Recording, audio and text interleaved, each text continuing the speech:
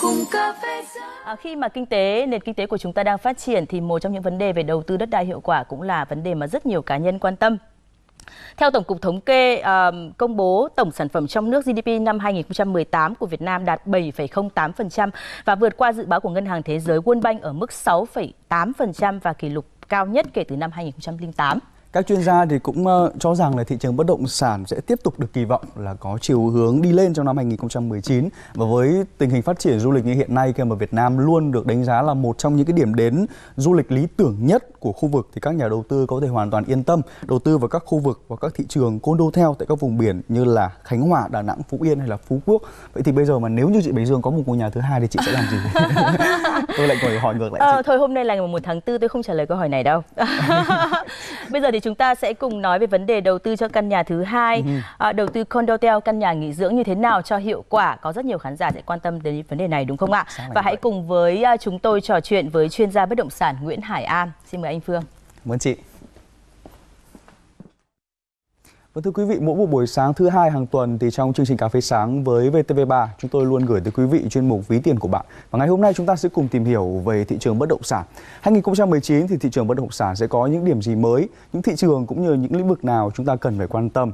Và đặc biệt là với những nhà đầu tư cá nhân thì đây là những câu hỏi mà họ đang rất muốn có được những câu trả lời. Những người mà đang sở hữu cho mình một căn nhà để sinh hoạt, để ở rồi, nhưng bây giờ thì có mong muốn là sẽ có thêm một căn nhà nữa để có thể kinh doanh. Và chúng tôi hôm nay sẽ gửi câu hỏi đó tới cho chuyên gia của chương trình. À, xin được giới thiệu chị Nguyễn Hoài An, giám đốc của CBRE Việt Nam chi nhánh Hà Nội. Xin chào chị, cảm ơn chị đã đến với chương trình của chúng tôi ngày hôm nay. Chào anh, cảm ơn chương trình, cảm ơn anh. Cảm ơn chị đã thức dậy rất sớm cùng với chúng tôi. À, có một câu hỏi luôn ở phần đầu chương trình tôi muốn hỏi là trung bình mỗi một năm thì những câu hỏi mà chị được nhận đề nghị tư vấn từ khách hàng về bất động sản có nhiều hay không? Chắc là thống kê là khó đấy, nhưng mà thông- thường thì ờ, năm sau sẽ thấy nhiều những cái câu hỏi yêu cầu tư vấn hơn so với năm trước. Ờ, có lẽ là cái sự chú ý của Ờ, người dân đối với thị trường bất động sản vẫn còn khá là nhiều. Quay trở lại với cái chủ đề ngày hôm nay, đó là những cái người mà họ đang sở hữu cho mình những căn hộ riêng, thì họ đang mong muốn là có những cái căn hộ tiếp theo để có thể kinh doanh thì chị có những cái lời khuyên và những gợi ý như thế nào dành cho họ? Với những cái um, uh, loại hình bất động sản để đầu tư uh, thường đó là một cái uh, ngôi nhà thứ hai hoặc là một cái bất động sản thứ hai. Uh, thì thông thường vấn đề đầu tiên uh, có lẽ là nên đặt ra là mua để làm gì. Thông thường sau khi chúng ta có căn nhà thứ nhất là để gia đình để ở thì thông thường căn nhà thứ hai thì chúng ta sẽ mua để uh, có thể là để tích lũy tài sản uh, duy trì tài sản hoặc là để chờ tăng giá uh, và cũng có thể là để có những cái dòng tiền thu nhập đều đặn ta có thể mua những cái um, lô đất để có thể đầu tư xây dựng kinh doanh để cho thuê hoặc là mua các cái căn chung cư ở các thành phố lớn. Um, và ngoài ra thì gần đây uh, chúng ta cũng để ý cái xu hướng bất động sản cái sản phẩm bất động sản nghỉ dưỡng du lịch nghỉ dưỡng. À, và một trong số những cái sản phẩm đó là condotel à, căn hộ khách sạn. Chắc là anh Phương hay là quý vị khán giả ở đây thì cũng thường hay đi đặt phòng khách sạn đúng không? À, để đi nghỉ dưỡng. Thì um, uh, condotel cũng về bản chất là cũng giống như vậy thôi. Tuy nhiên người sử dụng có quyền sở hữu cái căn hộ đó. À, thì khi sử dụng thì chúng ta có những cái um, tiện lợi nhất định. Ví dụ như đi thuê phòng khách sạn thì nhất là nếu chúng ta đi với gia đình đông thì thường um, khá là khó khăn và bất tiện trong vấn đề sinh hoạt sinh hoạt chung vui chơi tập thể. Uh, và nhất là thường là phòng khách sạn là sẽ có hạn chế số người thuê. Nhưng với condotel thì chúng ta có cái sự thoải mái À, nhất là rất là nhiều cái mô hình, mô hình condotel là có cho phép à, cái sự um, mở thông phòng.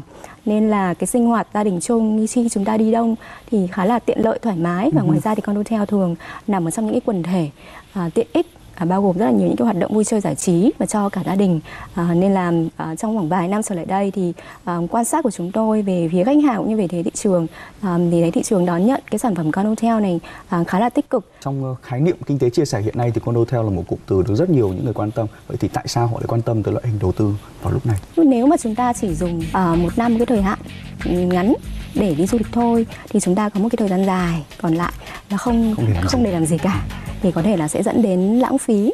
Uh, nhưng mà nếu mà chúng ta biết khai thác cái thời gian uh, trống còn lại trong năm thì có thể đấy là một cái mô hình ờ, mô hình gọi là kinh tế chia sẻ cũng khá là hấp dẫn. À, cụ thể ví dụ như là à, nếu mà anh Phương và gia đình một năm đi nghỉ từ 2 cho đến 3 tuần thì chúng ta có thể sử dụng thời gian 49 đến 50 tuần còn lại thì chúng ta có thể à, cho thuê các cái gia đình khác. Vậy thì à, một mặt chúng ta vừa tiết kiệm được cái chi phí à, mà đáng lẽ ra chúng ta phải đi book phòng khách sạn 2 đến 3 tuần đó.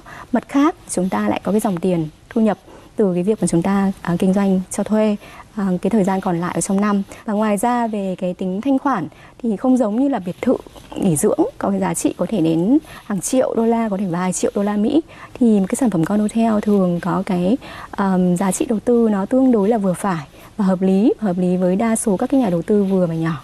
À, do đó là cái tính thanh khoản nó cũng tốt hơn.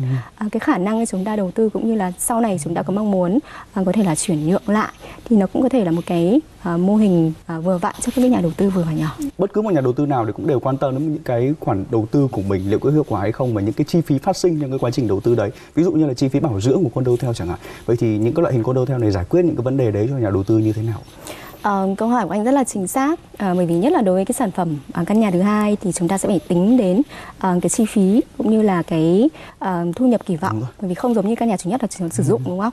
Căn nhà thứ hai chúng ta chỉ sử dụng một thời gian ngắn trong năm thôi. Chủ đầu tư sẽ đứng ra uh, giúp cho chúng ta uh, những vấn đề về um, quản lý um, vệ sinh rồi đảm bảo giữ được căn hộ của chúng ta uh, đảm bảo sạch đẹp uh, trong suốt cả năm. Và đồng thời cũng thay mặt chủ nhà kinh doanh và cho thuê lại. Ừ. cho nên gần như các cái chủ nhà của con hotel sẽ không phải lo nghĩ gì cho đến việc phải đi chăm sóc một cái căn hộ và nhất là chúng ta thường sống xa cái căn hộ đó. Đúng rồi. có một câu hỏi nữa mà tôi muốn ờ, quan tâm đó là hiện tại thì cái thị trường bất động sản đấy thì thường đặt ở những cái vị trí ngoài thành phố. Vậy thì tiềm năng phát triển của những cái dịch vụ nghỉ dưỡng ở bên ngoài thành phố đấy nó mang lại như thế nào cho những nhà đầu tư?